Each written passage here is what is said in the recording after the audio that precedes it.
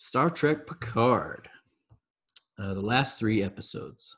So I'm going to go over the last three episodes, and then I'm going to talk about what I liked or didn't like about the show. So basically, uh, I was excited to see Seven of Nine hook up to the Borg cube and become a Borg queen, and I thought that they had a had a really good chance to show like addiction and like how people can be addicted to things and then not want to stop doing it.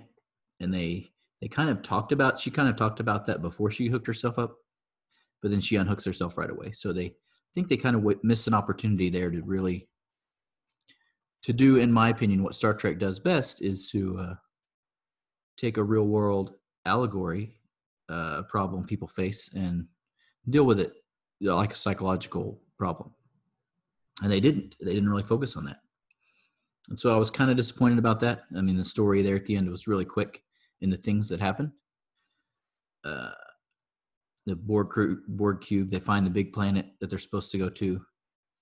Uh, the Romulan fleet shows up. They throw Picard in jail. Uh, the, they find the home of the androids. The androids are building a communication device to communicate to the message,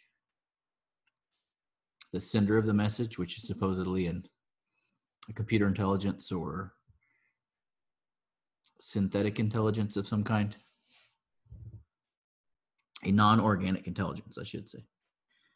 Uh, so, uh, what I wanted them to do, or actually thought they were going to do with this series, and they still could do it in season two, is I thought that Picard would have to choose to reactivate his Borg implants.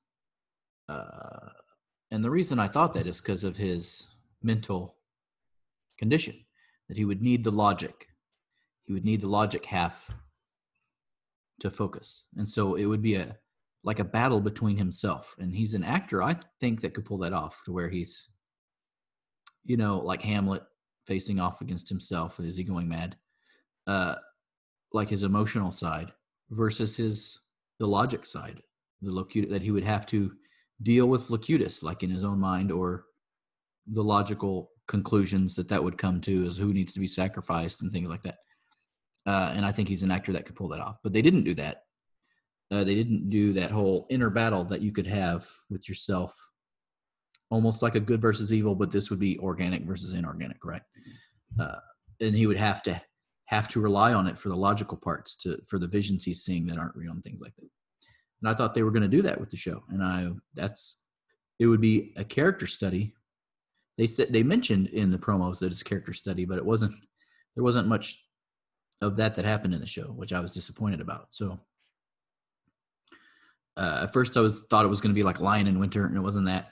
And then I thought, well, they're going to do you know a character piece where it's him, you know, the emotion versus the logic, and he's playing both parts. Like in the original series, you had Spock and Kirk, who different characters playing those roles.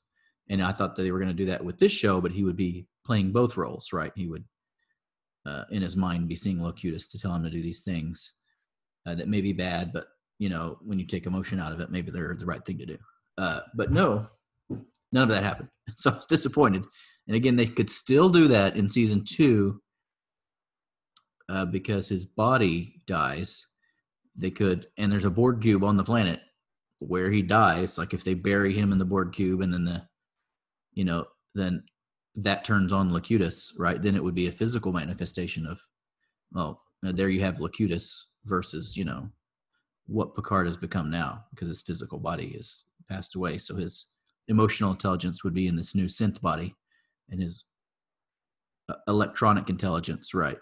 Locutus would be in the, and it would be physically on screen representation of what could have been gone going on in his head uh, this season one, which again they didn't do that, but I I wish they would have.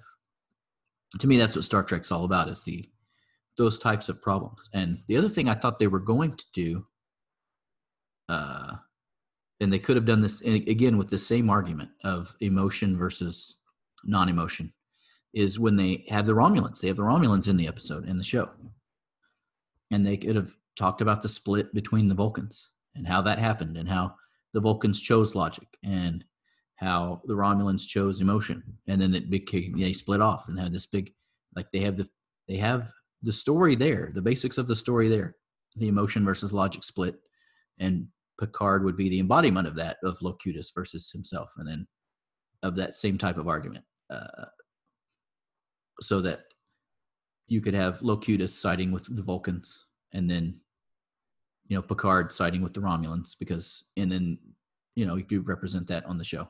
They didn't do any of that. Like they literally had all that in front of them to just piece together, and it would have been brilliant. And I think it could have been well done, but they didn't do any of that. Again, they could still do that in season two. I hope that is what they do in season two. I don't don't think that's what they're going to do. I have no idea what they're going to do, but I mean that's what I would do as a writer is just use this vehicle that they've created to to really, you know, uh, delve into the issues that people have with mental illness, that people have with addiction, that people have with, you know, and it would be great. I mean, they could really do that, and they using sci uh, Star Trek as a backdrop. Uh, anyway, that's where I would want it to go and what I would want them to do, but uh, we'll see, I guess.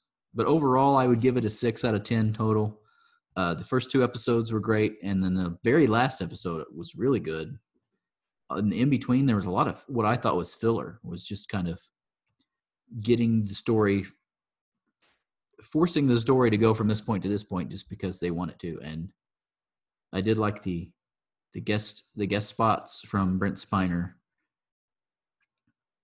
and from Frakes, Jonathan Frakes, Marina Sirtis. Like I loved those episodes just to get to see them again. But you never got to see them all together, you know, all of them at once. So that was kind of disappointing, I guess, a little bit. But uh like in season two, I would want them to get all get together for like one or two episodes.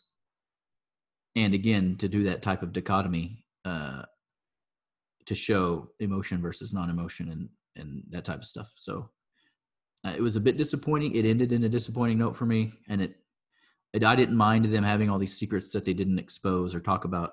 It didn't bother me as much as to me. It seems like a lost opportunity that they could have done with the show, and they didn't. So, if you like my content, please like, subscribe, and thank you for watching.